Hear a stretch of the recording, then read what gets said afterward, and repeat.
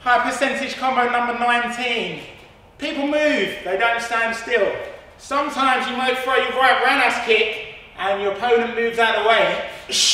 Now, you don't really want to just stop here and then turn around and try and re-establish your composure and your stance. It just takes too long. Nor do you really want to come around here and then just keep turning your back and then hope nothing else comes after it. Um, a little trick you can do is always follow with a shin check just in case. But what you want to do is follow with a kick afterwards. Now it's the original setup to a spin side kick. As soon as your foot steps down, you want to look over your shoulder and then follow with a left kick afterwards to make use of your miss. If you missed, you missed. Follow up with something afterwards.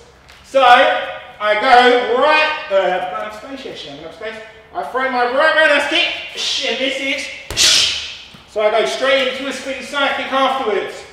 Moving my head out of range, throw the right kick, step down, spin side kick straight away after. Use the momentum, use the miss to your advantage. Don't just do this. Whoa. Takes way too long. As soon as you miss, step down, follow with your spin kick straight away afterwards. Move your head and angle as well a little bit. Line over here.